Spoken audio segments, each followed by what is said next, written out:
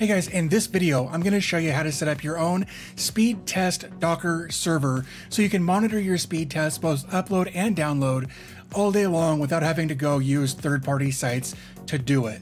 After your server has collected some data over the course of a few hours, your server or your, your dashboard may look something very, very similar to this. It's super easy to set up. So let's go ahead and jump into Docker and Portainer and see how to get this set up. Okay guys, so this is the Docker Compose file that we're going to use to get uh, this uh, server set up.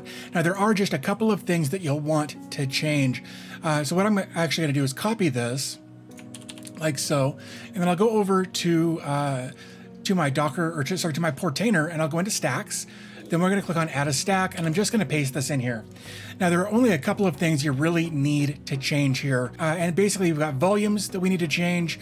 Um, and then, in my opinion, this test interval of 30 seconds uh, is way too short. So uh, what we're going to do uh, actually first is go over to uh, OpenMediaVault where we're going to grab the folder or the absolute path for the folder where our configuration uh, files go. So I'm just going to drag this up here like so, and I'm just going to copy this. And I'll go back to Portainer here, and I'm just going to paste this in here.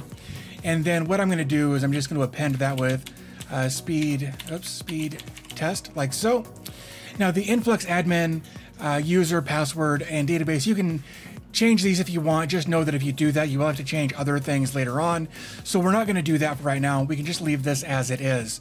Uh, the next thing that you'll want to change, again, like I mentioned, is this uh, test interval. This is in seconds, and I really think that 30 seconds is uh, is way too short of a time to test that interval. So what I like to do is change this to like 180, um, or let's um, let's actually make that 300.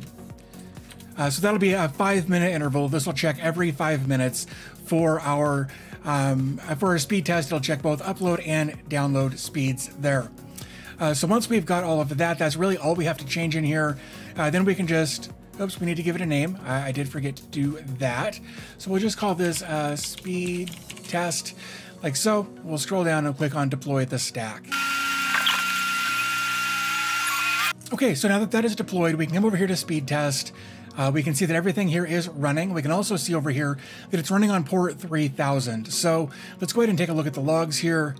Uh, looks like everything here is okay. So let's go over to uh, our server address and type in 3000. And here you can see we've got a dot. Uh, that is the first data point for our server. And right now I've got 317 megs down and uh, looks like 11.77 megs up. So, uh, like I said, this is going to update every five minutes uh, as far as what, how often it will do a speed test. Uh, so, what you might want to do is actually drop this down initially to like 30 minutes and then uh, change our uh, refresh, how often this page or this screen will refresh to every five minutes. And then at this point, you can just let it sit every five minutes. It should run a speed test, and about every five and a half minutes or so, uh, we should actually see some new data in here. So we'll come back here in about an hour and take a look at this and see what kind of data we're getting. Okay guys, so there's how to set up your own speed test server in Docker so that you can have this kind of run automatically in the background and keep track of what your internet service provider is doing as far as uh, maybe throttling your upload and download speeds, or maybe you'll notice different times of the day uh, that'll have better uploads and downloads than other times, uh, depending on usage in your area. So a pretty simple process, just have to change a couple of things in that original uh, Docker Compose file and you should be good to go. So I hope you found the video helpful. If you did, do me a favor, give the video a thumbs up. That would be really helpful to me. If you enjoy these kinds of videos with uh, Docker and home server stuff, that kind of thing, uh, definitely get subscribed. I've got all kinds of new videos coming out.